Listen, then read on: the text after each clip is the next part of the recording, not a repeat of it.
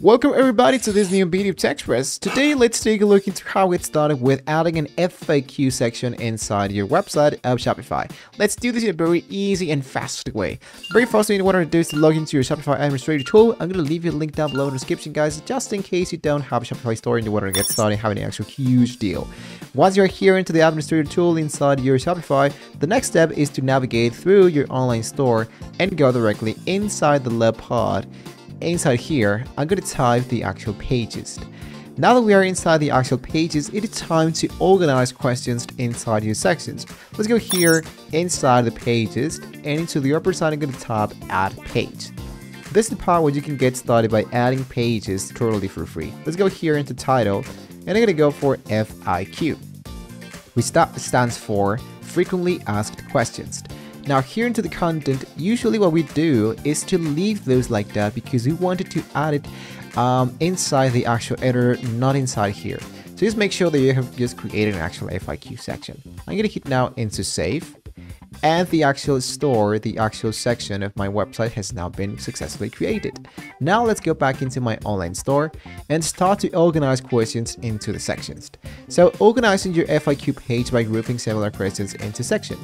It's to be really really easy guys and you wanted to make sure that when you go directly inside the navigation bar, let's go into the main menu so we can add the FAQ into my menu bar. So I'm to go here into add menu item.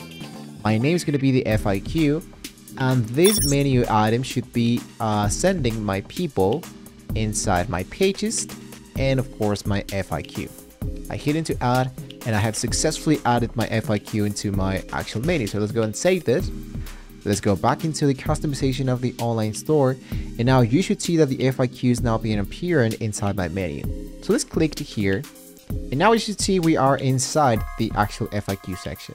This is the part where you wanted to get started with an actual template. So inside here, I'm going to choose FAQ and what I wanted to do is to delete the elements that I didn't want to see, for example, this element and now get started with the actual FAQ. Now the format and the style for your FAQ. You can use the formatting options in the page editor to style your FAQ page. Consider using headers, bullet points, and bold text to make the content easy to read.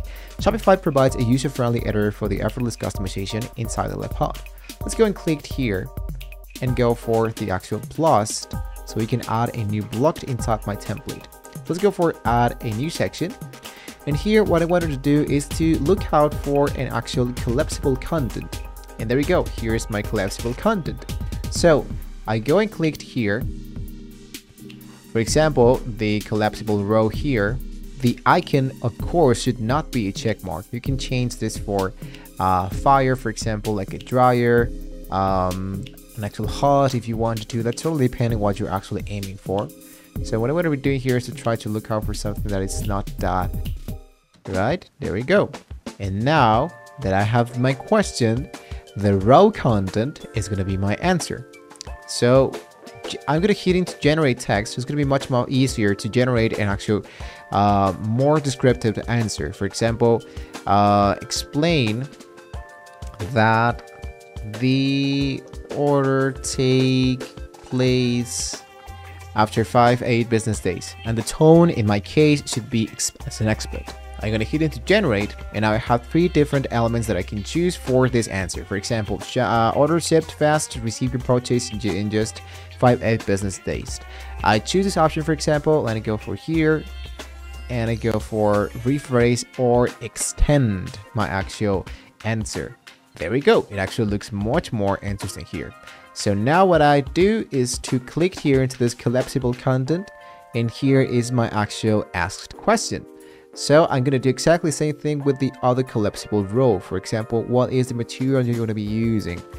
There, I have just created four different most common asked questions. I can create more if I wanted to here. Inside the left part, you can see that we have one element and I can add a new one. For example, I have one collapsible row, I can add two more and so on and on and on. So lastly guys, what I'm going to be doing here is just to select my collapsible content and so far what I'm going to be doing here is to delete my heading because I don't want to see it because I wanted just to see the FAQ section. Lastly here, uh, what I do is to of course add something that is outside the FAQ section just in case I haven't uh, answered another specific question. So for that I'm going to add a new section and I'm going to go for the contact form. And last I'm going to hit now into save, three dots, and view my document. So we can preview and publish uh, any progress here. You want to make sure that before you post, everything's going to be really, really important. That ensuring that everything looks uh, as intended. So once satisfied in the publish button, your FAQ page is now live in the Shopify store and ready to assist your customers. Check out how it actually looks to our freaked ask questions. Frequently asked questions. So I click here and as you should see it actually looks really great so far. Feel free guys to add images to add links to add more stuff and of course trying to add as much information as you can speaking about for your customers not for your website for your customers. And lastly guys try to add an actual contact form so you can answer as much questions as you can. So so your customers going to be feeling free to adding as much information as they can. And there you have it guys, actually really really simple to get started with an actual uh, common frequently asked question guys. So if you find this tutorial helpful, please give us a thumbs up, subscribe for more e-commerce insights, hit the notification bell. Thank you so much for watching the video guys. Hopefully we can all see you next time. Until next time, once again,